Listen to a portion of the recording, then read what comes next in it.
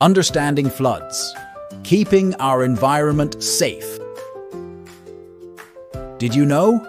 Sometimes when it rains a lot, water can fill up the land and cause floods. Floods are when water spreads out and covers areas that are usually dry.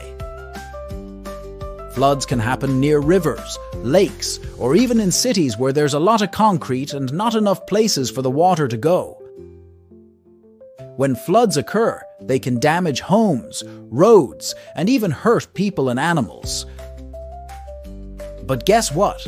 We can help prevent floods by taking care of our environment.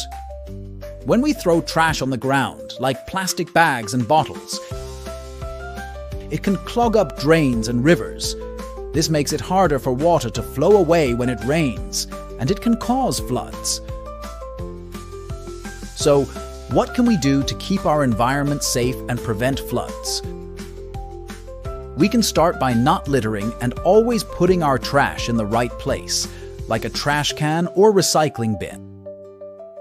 We can also plant trees and create green spaces to help absorb rainwater and prevent flooding. By working together and taking care of our environment, we can help keep our communities safe from floods and create a cleaner, healthier planet for everyone to enjoy. Let's do our part to protect our environment and prevent floods.